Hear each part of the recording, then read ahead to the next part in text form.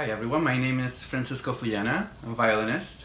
and I would like to invite you to my uh, CD release, Through the Lens of Time. It's going to take place on March 17th at Lincoln Center's Rose Studio at 7 p.m.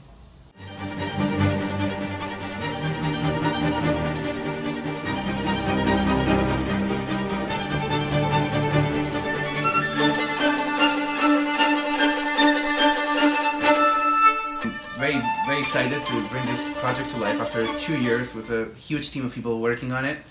and to be presenting it here in New York with the Grammy nominated Metropolis Ensemble and Andrew Cyr, its music director. Uh, it's a group that's very close to my heart, one of the very best uh, new music groups here in New York City. I think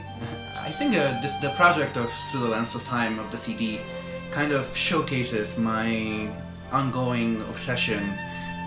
with programming music that uh, that kind of revisits that Baroque tradition, or just music from the past in general.